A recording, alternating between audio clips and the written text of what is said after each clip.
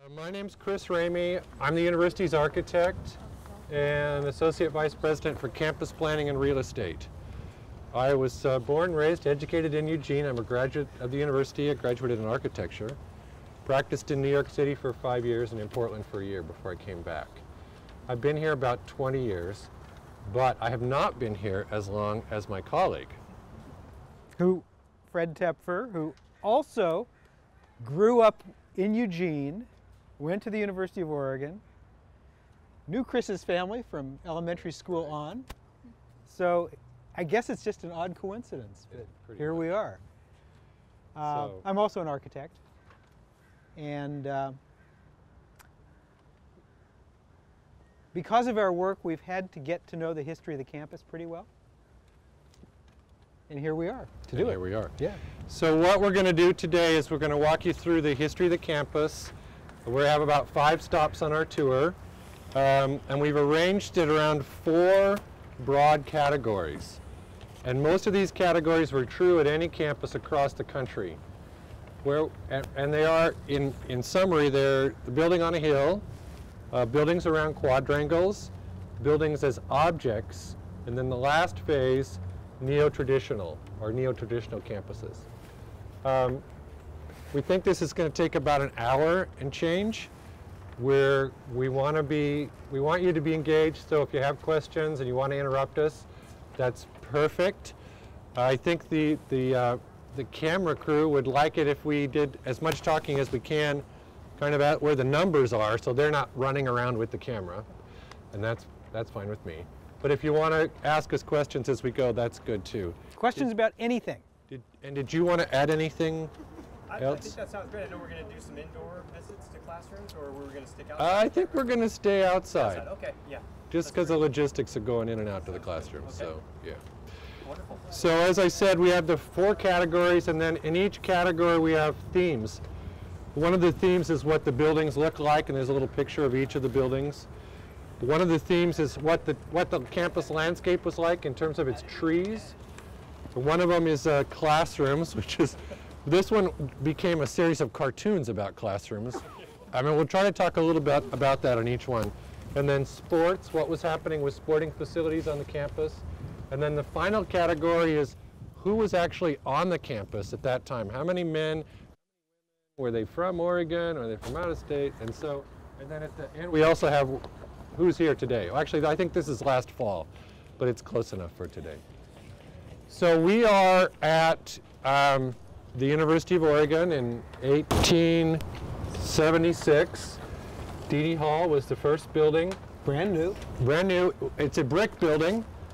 Um, it's painted gray because the second building on campus, Villard Hall, was meant to imitate stone and does imitate stone. You can see the rustications. It looks like big stonework, like it's carved stone. It's actually brick too. But they went, they painted this building gray to match that building. And, so- also because the brick was falling apart because it was made here in Eugene. You can go to the Masonic Cemetery, there's a huge hole in the ground, which is where the clay came from to make this building. So that, that was pretty much the idea about building technologies. You want to use stuff that you can get locally. And if you've studied uh, sustainability or ideas about that, you know that that's a big piece of sustainability is always trying to build with materials that are here because you cut down on the distance that uh, those materials have to travel. For example, if you're using Italian marble, that's got to travel a lot before it gets into your building. So imagine the transportation cost of that. Um, the building is built on top of the hill. If you turn around and look down the sidewalk, the sidewalk is the extension of 12th Street. That's 12th Street behind you. And at that time, 12th Street went downtown. So if you came to the campus and you were a member of the town, you walked down 12th Street, up this sidewalk, and literally into the building. This is our connection between town and gown. And town was a long ways away. There wasn't town right there. It was what are now blocks and blocks and blocks of fields and farms. And then this was on the hill outside of town. Looking back toward town, but removed. So if you came as a student, one of the things you were asked to do was to bring firewood. So when you came in, you took the firewood into the basement and they put it in the boiler and they heat the building. The building actually served as a dormitory for a while. It was dormitories, it was classrooms. It's now pr- primarily used by the math department. The math department's actually housed in Fenton Hall, but a lot of math classes happen here. Uh, it's been subdivided, it's had an elevator put in it. Uh, one of the projects, they tore the building apart and they found sawdust between the floors to serve as a sound insulation between each of the floors. Uh, the building, also when you came, you would not see any trees. The only trees that would have been here then are, there's only one left. We're not going to get to see it today, but it's on the other side of Villard, and it's the Condon oak. There were three oak trees on the campus on the other side of Villard Hall. Well, one of the reasons this became the university is that you couldn't really farm it. It wasn't very good soil, it was pretty thin, and nothing grew on it except for those three oak trees. And grass. So every tree you see around you has been planted in the time since. And they- in fact, it was so hard for, to get trees to grow that the groundskeepers, and I think they were probably more like custodians Just then, janitors, yep. they were paid a dollar if they could keep a tree alive for a year And this is a So, dollar as a back bonus to them. then, which is worth ten dollars it's now. probably it's probably pretty significant now. So the the these are Doug firs, again uh, native trees planted on either side of this walkway as we go up and down the walkway. You'll notice there's a little plaque. There's one right here says University Day 1907. So the, the sidewalk was improved in increments. I think it goes up to 1914, 1916 maybe, as part of something called University Day, which we still have in the spring. So you'll all be uh, invited to join in that. There's probably no concrete pouring, uh, but there might be tree planting and other events that happen as part of University Day. When the students arrived in, in 1876 and the years after that, in the early days, they had two main requests.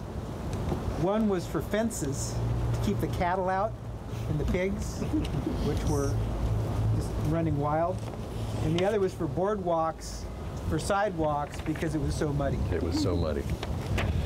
So just draw your attention to these little pictures that are here. And those are the little trees that they were getting a dollar a year. And there was no, of course, there was no Villard Theater then. So you're standing kind of where the bookstore is. You're looking up the hill with no trees except those little trees. And then at the bottom in sports, the first athletic field was down at the bottom there, kind of where the computing center is. And that looks like it was probably a football game. So we'll tell you a little bit more about some of the other sporting facilities as we go through the tour. So should we go to our next? Sure. Are there any questions about our first stop? Yeah. Um, I've always wondered sorry. about the, just the proportions in this building. They're so strange and odd, and I know it's been renovated several times. How, do you know how many floors there were originally? Because it's been made, you know, I know it's been renovated. Any idea? One, two, three. Well, there's there's Right. there's this is the Oh, plus the basement. ground floor, Right. the second floor, and the basement, and then there's a tower room on each end.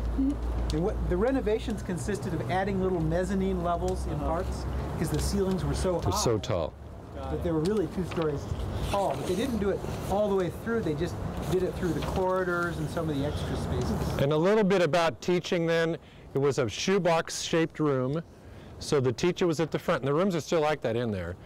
And then the rows are, they're, narrow, and then the rows go back, front to back. So very much teacher standing in the front, lecturing, and if you're in the back row, it's easy to go to sleep. So not a lot of engagement because of the way the rooms are laid out. We'll talk a little bit about how that changed over time as well. But that was the mode that they used in this era.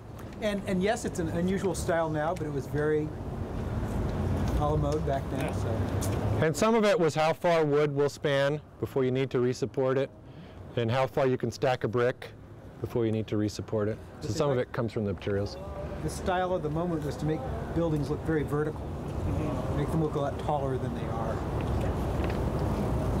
So let's move on to our next stop is the Dad's Other Gates. First. Other Oh, sorry, other other questions? Other hands? What a Chris, I was just going to ask, did, did Yes. this building have fireplaces in it when it was built or not? Oh yeah. It did have fireplaces. Oh, in the classroom spaces? I don't think so, Okay. But it definitely had wood heat. Okay. Yes. I'd heard that there, there are two entrances, entrances, entrances now, and that one was for men and one was for women originally. You saw that YouTube video also. Yes. So if you haven't take, taken the opportunity to, s- what's it called, the unauthorized history? Unofficial unofficial, and there's some pretty interesting stuff in that. I, I went through that myself. Um, so the what the the story you're talking about is the one was for men and one was for women because they didn't want the men to look up the women's dresses as they went up the stairs. Is that what it was? Those but they didn't Yeah. want their ankles to show. Their ankles to show. Okay, well that's kind of the same thing. So that could very well be true. Sounds plausible. So let's go that kind of that direction down to the green gates. We'll walk in front of the new theater.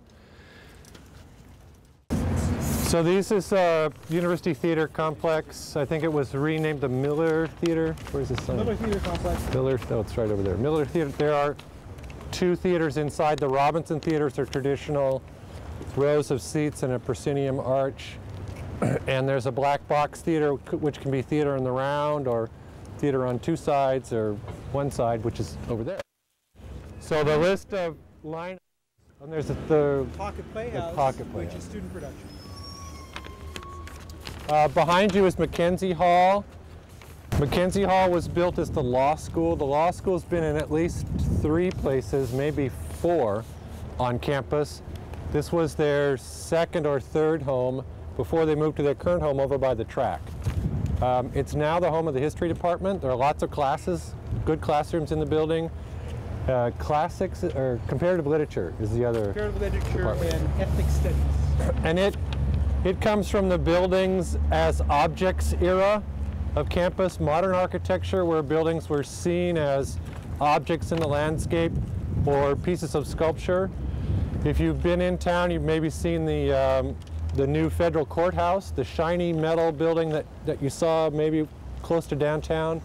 That is a beautiful sculpture but a very good uh, expression of this kind of architecture. You know? You notice with, with Hall, it has a door, a main entrance on each side. And when they built Villard, it was done also with the door facing the town, and the door facing away from the town. The next buildings, they kind of jumped across an open space and started building basically a wall of buildings on the far side of that to make an outdoor room edged by buildings. That's, that's what we're talking about when we say a quadrangle not necessarily a courtyard, it's a big outdoor space, the walls of which are the fronts of the building. And when Lawrence got here, there was this informal quadrangle there, but he had other ideas. So Ellis Lawrence's grand vision was to have a gateway to campus here, which connected back down to downtown. Across the street was the railroad. The railroad used to run where where uh, Franklin Boulevard runs now. It was moved over to the river, closer to the river in 1950, but it used to be much closer. So there'd be a railroad station here, and then the best idea he had was that you could also come by water. There'd be a way that the river could actually come up here. You could come by boat, by train, or by horseback. You could walk. You come down from campus. Everybody came here. They came through these gates, and then they moved on this great axis up, and we'll go through. We'll walk along that axis in a moment, up to what was going to be the auditorium, but was eventually built out as the library. These gates were just repainted this summer. They hadn't been painted in probably 40 years. When they scraped down to find out what color they were originally painted, we found out they were originally painted the color that we use now. So, who'd have thought that? So we were lucky, or I guess we were smart, the color they're painted is very close to our, our standard Bulo color. In the lobby of Lawrence Hall, School of Architecture and Allied Arts, there's a big model which Ellis Lawrence's firm made when he was first hired to do a master plan for the university. If you have a minute and you're nearby, going in the south entrance of Lawrence, look a little bit to your right, and here in a plexiglass case is this really cool model showing what in 1914 he thought the university should grow into. And uh, different buildings are different colors depending on whether they were already there or whether he was proposing new buildings.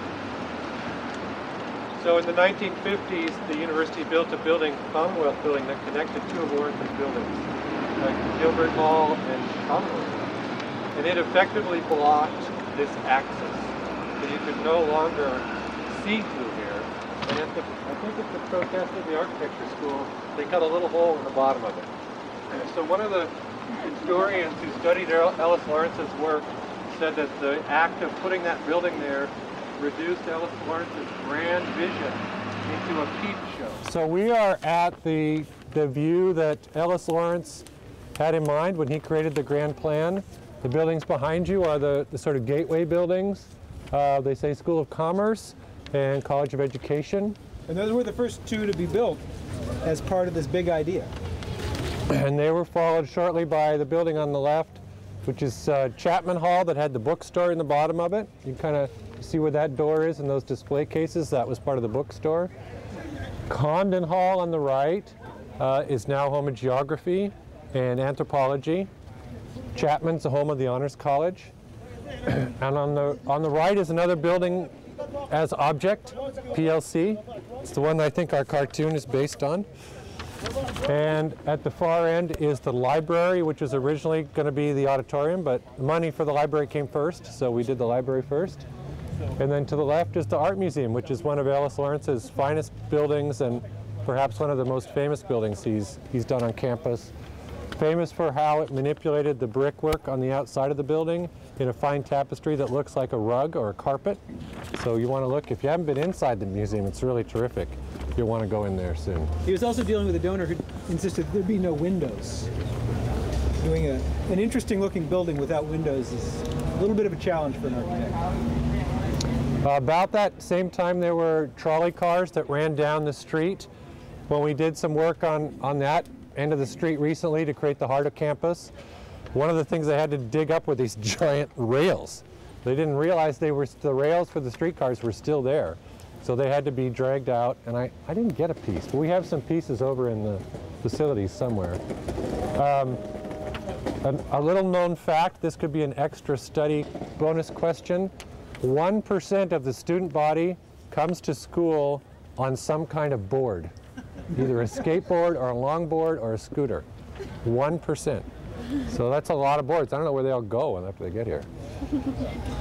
That must be why the other percentage, transportation statistics, how many people walk, how many people ride their bikes, our percentage for other is higher than any other campus I've ever seen. Must be all the boards. That's part of the other right Yeah. there. It's carpooling. Um, the quadrangle itself is a memorial. The sidewalks are a World War One memorial, and the trees are a World War II memorial, or something like that, Something or the that. reverse. Um, you might find plaques out in out in the side there. Um, those are upright black English oaks. They're very tall trees. There are eight of them, and when they were planted, this is the story. I can never remember where they are. There were two extras in case two died. So there are two more black English oaks somewhere on campus. I can't remember where they are exactly. Maybe but those they, died. They, maybe they did. But they bought extra ones in case these died because they were memorials and they, want, they didn't want to have an empty spot. They didn't want to have a tree that died and, and wasn't going to make it. As I mentioned, this is all redone as the business school. Yellow Buckeye. Um, oh yes. So the yellow. So who knows um, what state has the Buckeye as its Ohio. Ohio has a Buckeye, and the Ducks played Ohio in the Rose Bowl in 1920 20 something. something, and there was uh, some kind of bet, and 2010. Thank you. There was some kind of bet about that, and so we got an Ohio Buckeye as a result, and I, I think Yeah. that's the Ohio Buckeye That's the yellow Buckeye. we got in exchange. That's right. So there you have it.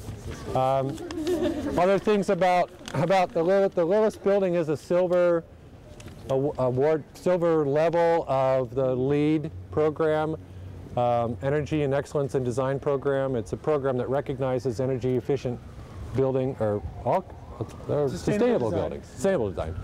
The little blue things are actually photovoltaic cells. And there's a whole array of photovoltaic cells on the top of the building as well. Parts of the building are naturally heated and cooled, so there's no mechanical heating or cooling in them. Um, And the classrooms are, are done that way too. So classrooms from the modern era, so we'll just cover classrooms right now. You turn the shoebox, instead of the teacher being at the top of the shoebox and looking down this way, the teacher is now on the long side so that it's much easier to see the students sitting around and it's much easier for the students to see each other. So a lot of classrooms in Lillis are based on that proportion so that when you're in them you can see each other, you can talk to each other. It's much easier to see the teacher in, the, in that situation. The average distance from the teacher to the students is shorter, among the students is shorter, and it's really hard to fall asleep in the back row because you're real, real visible. Yeah, real close. Hardly is a back row. So the, the last thing before we move on, Fred mentioned there were a series of playing fields. We are actually in the end zone of that field that was in that's in the one photograph. We don't have a photograph of the field that was right here. Just on the other side of 13th, it had a dirt track. I think one of the Hayward stands was built here and moved from oh, here to there. Didn't know that. I could be wrong about that, but I think that's true. The track was going to be the site of a world record in the 200 meters, or two, probably 220 yards then. And they were uh, measuring, the guy who had set the record had run in, you know, meet the week before. They said, okay, we're going to have another meet this weekend and we're going to get the real stopwatches and we're going to have a world record set. Well, part of setting a world record is being sure that the track is flat all the way around. So they went to check to see, and the eastern end of the track was higher than the western end, so much higher that they weren't able to qualify for a world record. So they weren't able to set the world record there. But if you go to Hayward Field, you can see a track where there are world records have been set and world bests are set all the time. So questions about this part of the campus or, yeah, I do have a question about the lettering. Uh-huh. Why did they use? Uh, they're being like Roman lettering. You ever been to Rome or seen Roman lettering? I've never understood why, but it sure is a lot easier to carve stone in straight line than in curves. So maybe that has something to do with it. Well, they didn't have a Yeah, choice well. there, yeah. A couple years ago, they put a, a, a sculpture in the middle of the Oh, quad, and then it went away. Would you explain what happened there? You And talk about the very tall, skinny thing? yeah, yeah. Uh, that was actually a temporary installation of an obelisk, a long, tall spire, because there was a movement afoot to install one that would act as a giant sundial. It was installed there temporarily to try out the idea. And what's what's the best way to say it? As a sundial, it was successful. As a piece of architecture, it wasn't quite so popular. no. So we may someday get the sundial back, but it probably won't be there. Chris mentioned uh, Hayward Field, um, and while we're on the subject of tracks, Hayward Field's also pretty unusual because back when we were kids, it was also the football field. You, you must have gone to football games Yeah. there. I certainly did. Um, and then they built Autzen Stadium. When it was no longer a football field, it, the shape of the track didn't need to be a long oval, and you can actually get some faster speeds by changing the shape of the track and widening it. The problem was the grandstands were in the way. So they jacked up the old East Grandstand, put it on rails, and moved it. So go take a look at the East Grandstand, how big that is. Imagine moving that, what, 50 feet or so? It's about 50 feet. That was that was an interesting moment in university history. It was. Something to thrill cocktail parties of the future with that little fact. Yes. So we're going to walk um, up here to the library. Any other questions about this? Let's just move up sort of where, well, right where the fountain is. So I guess just straight ahead. Um, these again were Ellis Lawrence Buildings uh, uh, WPA projects paid for artists to be involved with the buildings. The faces on top of the library are famous people from nature, the arts, religion, history, and philosophy. There used to be a guide in at the reference desk. If you went inside, they would give you one. And they are interesting pairings of, you know, Buddha next to um, Darwin, or you know, there's interesting combinations of how they're done and put up there. And if you get bored, you could come out here in the daytime and look at the different faces, it's pretty interesting. Also worked into the design are little squirrels and little, are the nuts in that one or in this? This one. I think they're in that one. Oh, Look, there's faces here. Oh, see, there's squirrels at the top. There's squirrels like hugging a nut. That's what it Oh, is. there you go. And then inside, there's a courtyard inside with water around it, and there's kind of squirrel nut motifs in there too. I Oh, think. definitely worth going into the art museum if for no, no other reason than to see the very beautiful courtyard. But there's also currently a comic book show that just opened. Highly recommended. So Lawrence would um, probably not have liked this building. um, in fact, there are very few people that like this building. it, um, it came from that era of buildings as objects, uh, and, it, and it really didn't complete the, the space in the way we probably would like to have had it completed. Um, it's the home of the English department and probably a dozen other departments that I'm not science, thinking of. Political science, sociology, sociology, econ. No, I, no, I can't get stopped. The humanities is here, classics, and a question. When I'm in there, it makes me dizzy. Why? Like, is it Where are you in there? At the just high up or? higher up, but on Yeah. any of the floors? Is it like off a little in its structure? No. Settled in a few funny ways a couple times. In the, I think it's 1970 or 71, there, somebody set off a bomb in the basement toilets. And there's been a rumor ever since that the building is collapsing, which is not true. By the way, I think it's just the optical illusion of looking down a really long corridor, Okay. pretty narrow. It's, I call it the Holiday Inn effect. That's a really big Holiday Inn up there. Uh, and it's one of the reasons that you don't see that much on our campus. We try to make it so that when you go down the hall, you're not seeing for miles. 'cause It's disorienting. It's just you get vertigo. So somebody asked me what the, on the upper corner there, those sort of Oh, It's Spider-Man. brick red things. those are actually cell phone antennas, and we rent uh, those to different. I think two different companies use them on this building, and then we were talking about over at the at Hayward Field. There's a pole that's 100 feet high. Looks like a light pole, but it's actually a cell phone antenna, and it's the antennas are inside the pole. So there are ways to design cell phone antennas so they so they're disguised. And if you just take the time, I guess it's a little lesson on taking the time to design things so they look good and not just putting up whatever's easiest or works most efficiently. By any chance, do you know um, which companies are using the cell phone? Because I think probably. Is yourself. cell? T-Mobile. I was going to say, is your coverage like mine? Yeah, I I don't. Um, I'll bet telecommunications could tell you which ones they are, but Do those hall, do those rooms used to be dormitories? Nope. no. Built to be faculty offices. They're 99 square feet each, Yeah. Which is really not enough. uh, it's really not enough if you're trying to have a conversation with more than one other person. When, and again, teaching has changed in the way people teach and how much interaction there is. The need for computers, of course, heats the space up. So all those little air conditioners are up there. Those are not cooled buildings. And, and the reason that most of the campus, the majority of the campus is not air conditioned. And that's because the buildings were built uh, to be occupied from this time of the year forward and not in the summer when it's hot. Because higher education only happens from uh, you know October in Oregon anyway October to, to mid June. And so why would you need air conditioning? So again changed times have changed. Now we're here all year long. We have summer session. We have faculty doing research all year long. And so we're trying to catch up. We're trying to put air conditioning in buildings. We're adding on to buildings like the library, we're adding air conditioning. The art museum we've added onto and added air conditioning.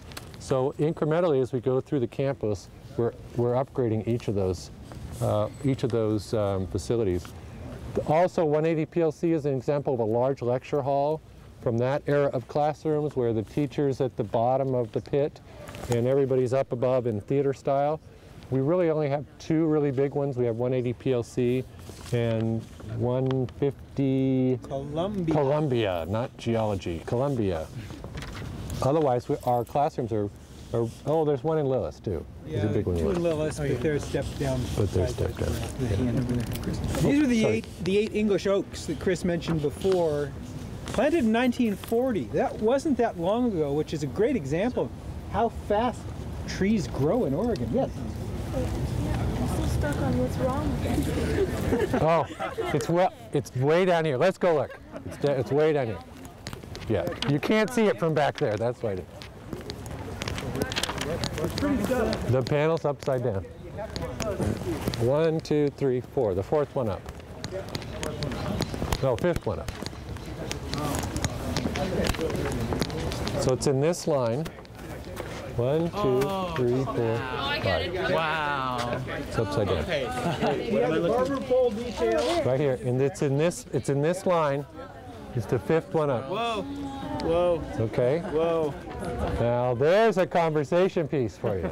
How could you do all this and then have one of them upside down? Or you just come over here with a friend and say, what's wrong with this facade? They would stare at it. They'd be here for a while. Chris, there was also another question about Oh. why, why only the front facade with the, the brickwork and not the the rest the other four sides of the building. Well, there, there are two reasons for that. So the question was, how come just the front part got done and not the sides or the back? There wasn't, there was an idea that this was just the first of three or four phases. So they didn't want to spend a lot of money on that. And the other, the other part of it was, it really was a lot of money to do the patterning. And Ellis wanted to emphasize the front of the building. When we added on to this building, the, um, the director of the art museum, the curator, the staff that worked inside said that the building itself is part of the collection in their mind. And so whatever we did to the building could not make it work, couldn't, couldn't affect it at all. It had to remain the same. So we had to almost double or triple the size of the building without affecting the way the building looks from this side. So that's why you, you can't, Ellis Lawrence couldn't tell you that something was added on the back here because you can't see it. Now when you go around the sides, it's done in a very um, understated, very subtle way to add on to the building in a very respectful way, which makes it a, a modern museum. You told me the right story, or should we just hold on? About, The back of the art museum? oh, Frank Lloyd Wright. What? We could wait. Wh- how, when should we wait? Till they come next year? Yes. Oh. So Frank Lloyd Wright, who, everyone knows Frank Lloyd Wright, correct? Guggenheim Museum, you know, that kind of stuff. So Frank Lloyd Wright came to Oregon probably to lecture for some reason. This is one of two architecture schools that he would have anything to do with. And he wanted, We were very offbeat and unusual. he wanted to see this building because it had two things he was interested in. It had, it had a uh, skylight in the throne room in this building up above here, which is fake. It's lit by electronic lights. so that, well, that's kind of cool. I want to see that. This is modern architecture. It's a skylight lit by electronic lights, and that was very cool in 1930, no, 45 maybe.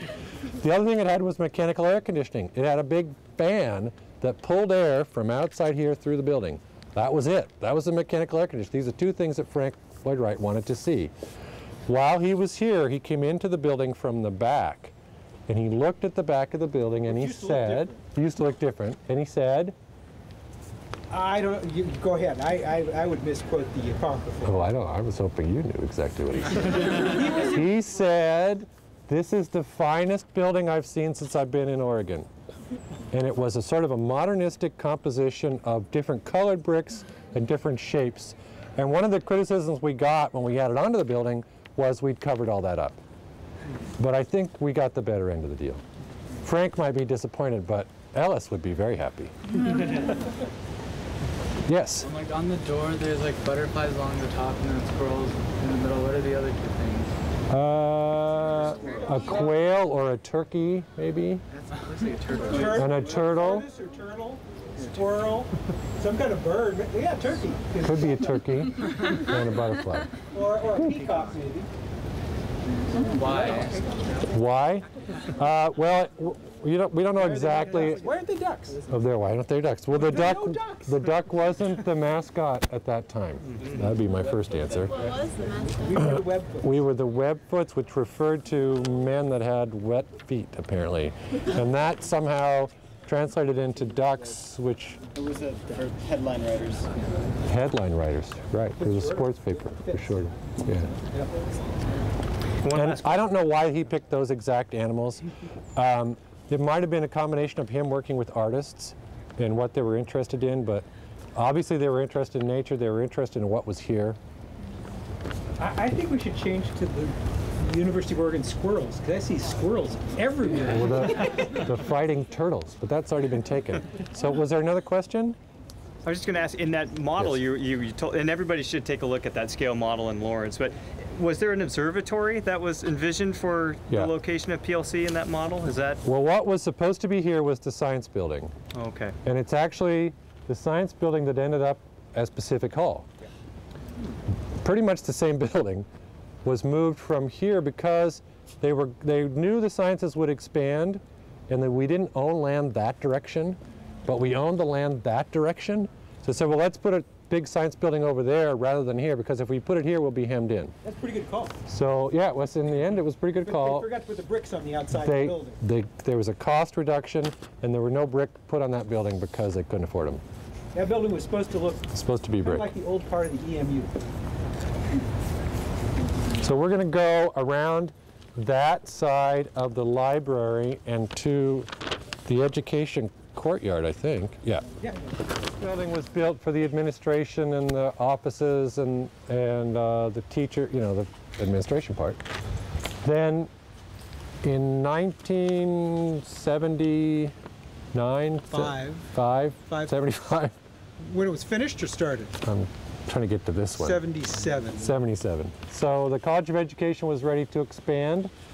Um, the university had, had had its fill of buildings as objects and decided to try something different. And this was the first building that was built as part of that new idea. And the new idea had to do with empowering the end users in decisions about how the buildings would be built. So the faculty and the College of Education met with the architects and they together they worked out what they wanted to do. And one of the things the College of Ed wanted was a courtyard. They wanted an enclosed sense of, of where they were. And so this building was built across there to make this courtyard. The arcades were added around, including that one as part of that project, and this outside stair. All of this has been uh, spiffed up in the, in the recent College of Ed project, which was completed this summer. Yes. Right? Sort of in June, and we're going to go look at that building next. But The other thing So- that happened in the 1977 project is two large classrooms that instead of having fixed seats and being all lined up to face the front, had movable chairs and they're square rooms so you could orient them any way you want. That was a pretty radical idea in 1977. Still a little bit of a radical idea, but we see it a lot more. Any of you from Portland? Yep. So do you know Pioneer Courthouse Square? Will Martin was the architect of that, and he was the architect of this. And a graduate of the University. of And a Oregon graduate of the University of Oregon. Is that why he used a lot of brick? Oh, maybe. I had never thought of that. This came after that, didn't it? This came after Pioneer Square. Pi- Pioneer Courthouse Square. Uh, no, it was before it. Was it? Yep. Well, Maybe we got him started knows? on brick. who Maybe knows? we should have gotten a cut.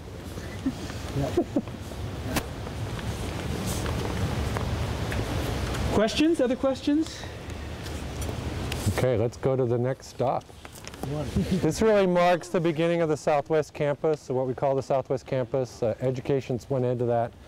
When we began planning this, the project that resulted in, in this building, the College of Education really had the goal of bringing themselves together eh, on a campus. Because what they had were buildings that were arranged around parking lots, which they didn't really think was like the rest of the campus. So they said, isn't there some way we can, this was, these were all parking lots. Everything you can see was a parking lot. And their other building, which you can't really see, is right over there, the Clinical Services Building. Just on the other side of HEDCO. So this building was put in the middle as a way to connect the two buildings, but also as a way to form a new outdoor space in the, in the idea, along the idea that Ellis Lawrence had for creating the quadrangles on the rest of the campus. Uh, it, it's College of Education. There are fabulous classrooms inside.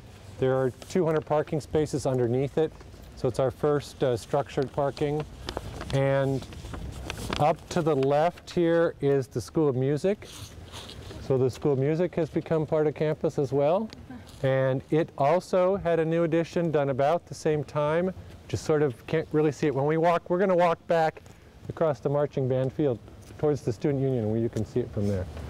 Um, this little red building right here is called the Little Red Schoolhouse. It's part of the College of Education. This is actually the third place it's been on campus. It began life as the sales office for the Ellis Lawrence campus, the 1920s, 30s, 40s campus. And it was put between the Pioneer Mother and Johnson Hall. So it was out in that grass spot there. And when you came to donate money to the university, you came to this building, you looked at the model that Fred was talking about that's now in Lawrence Hall, and you got your checkbook out and you wrote a check. Because you wanted to build Gerlinger Hall or Hendricks Hall or any of those halls that were back built in that era. It then, it then became um, the theater offices when the theater was in Johnson Hall, and it was the costume shop for a while. And I heard this story about a month ago. I told you that Fred and I grew up on campus. My parents are both faculty members. My mother met my father in that corner office. she was a sophomore and he had come back from the war and there he was. And the building, of course, was over there by Johnson Hall. it wasn't here. So, um, interesting story. It is an Ellis Lawrence building. It's an original building. It used to be over here, and they picked it up from there and moved it over there. Right where this building is. Right. And when they built that, they just moved it a little bit farther. And when we were planning all this, we didn't want to move it a fourth time. So we left it there. so again, hopefully you can see some of the aspects of what we call the neo-traditional campus, where we're trying to bring back buildings that make outdoor rooms, make open space, that, that create actively uh, engaging spaces where people who happen to meet can have conversations. Two little factoids about this. The College of Education wanted a landmark that you could see from Alder so they could have a front door. So when they said come to the front door, people knew where the front door was without having to ask. Their old landmark is back behind us here. And, and it was, uh, if you were a faculty member and you wanted to tell your spouse where to pick you up, you would say, honey, meet me at the statue of the naked lady. And that's what they used to call that, that's what they still call it. so your car, your husband or wife would be out here in the car and you'd come out and they'd be right by the naked lady. Yeah, the other thing that's a little different about what we're calling the neo-traditional campus is that the buildings don't try to look completely different from everything that came before them. So you can look at the 1970s building and it is reminiscent of the older 1920s buildings and the one we just finished is still in that same family. And they all look different. It's not like they have to be exactly the same. They can have their own character but they're in the same family. They're related. And we'll see that. Let's go out to the middle of marching band field and you can see the new so we're actually we're now we're into uncharted territory. Yeah, we're So off. yeah, I understand you're going to the student union, so we're going to walk that way with you, We're off right? script. and uh, so this was built as the uh, marching band field, so the marching band could practice. And the marching band now practices either. Is anybody on the marching band? Anybody in the marching band? They either practice at the Moshofsky Center, or One of the turf fields by Hayward. turf fields by Hayward, but not here so much anymore. Sometimes the percussion's out here. Um, it's, it's used for uh, ultimate frisbee. The summer camps use it. And somebody here said, well, it's a parking lot. I thought, well, it was a parking lot for the last two years, but for the 18 years before that, it was a marching band field. We built the field when the library was expanded. This is the back of the Knight Library. So it's got some of the same ideas. It's got you know two ends and a middle. It's got top and a bottom. So again, neo. Before that too. Neo, and it was a field before that. It was a construction stage. used to go through, yeah. So that's what part of the additions in school music, that building. Again, what Fred was saying about making buildings that look like they're a part of the campus but are, but are new. Trying to do both. Using brick, using brick in patterns, using windows that are, uh, are not just big blank windows but are broken into sections. So all of these things add to the texture of the campus and make the buildings look like they're at least cousins, if not brothers and sisters. Because we are a campus, and when we get done, we really want it, everything to work together as a campus. Student Union. Student union. Okay. Hmm. So this is the bonus extra segment. This, this is where it gets to be fun. When the EMU was first built, it was just, you know, this part, the old part. It was just a lawn from the front entrance there to the fishbowl, all the way down to 13. So this was all one lawn that went out to the Bow Streets University in 13th.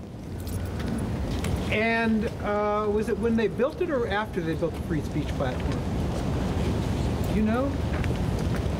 No, I think it was here. I think that that Well, brick, it was here, yeah. but I think they built it as part of this. as part of the construction. Yeah. But there was something called the free speech platform, a little podium that was right here overlooking the lawn. And right at the end of that. And anybody, yeah, that, see that little brick wall goes right at the end of that brick wall. wall? If you look at the brick thing that's down there on the stage, and imagine it right at the end of the wall. That's Right where, where that trash can is. There's this thing called the free speech platform, and anybody could come up as long as they didn't get violent or yell fire. or yell. Well, I, outside you could yell fire. You could yell fire. Um, and there was a lot of speech, a lot of free speech over the years. In uh, in the mid 70s, early 70s, they designed and built the addition to the EMU that's on the backside, the Ben Linder room, and the uh, thing with the big skylight, and the craft center, and all that stuff. And there was a child care center there. And in doing so, uh, I was in school at the time. This student government insisted that they create a pedestrian connection underneath. Because it used to be you had to walk up and through the EMU to get from all the classrooms back to all the residence halls. And that was just so inconvenient. So they created the connection underneath, and in doing so, they made it so the free speech platform and a big lawn was instead the free speech platform talking to nothing. And a funny little stair that, what do we call it, the waterfall stair? Waterfall stair. because it became a waterfall when it rained. It, none of the steps were even, and it was it was a good way to break your neck. And then a series of very small courtyards, because this is right after all the demonstrations of the early 70s and late 60s. They didn't want too many people to congregate, so they built it so that no more than about 20 people at a time could congregate. And that's the way it was until, well, we were working on campus. The students came to the planning office and said, hey, we need to fix this problem, this free speech platform that doesn't work, it doesn't speak to anybody. And they and landscape architecture students started a process that resulted in the amphitheater. So the students closed 13th, the students built the amphitheater, put the free speech platform back in a place that actually speaks to somebody. So that's the story of the free speech platform. Um, the, the building itself was one of Lawrence's last designs. It's a mixture of modern and traditional ideas and materials. Uh, the, the fishbowl is the site of the food fight from Animal House. But of course, there aren't food fights anymore. Um, but as students, we could stand outside and, and we watched inside as they, as they filmed it. Um, I think that's about the end of our tour. Thanks for, uh, thanks for being such a great audience. That's such a dumb thing to say. Any last questions? But, yeah, are there Last any last question? Could you talk about like how many people go through here between like 11 and 1ish? Pretty much everybody. Well, like I think one of you gave me a number a while ago when we did a disability tour, Uh-huh. and like it was a crazy big number. It's a crazy big number, but I don't know what the like number a, is. Yeah, 30 within a 30 minute time frame. It was like crazy big. And It's out. More than a thousand, probably. Yeah, It's huge. it's huge. Well, it's been fun. Thanks, Chris, guys. Fred, thank you both. You're welcome.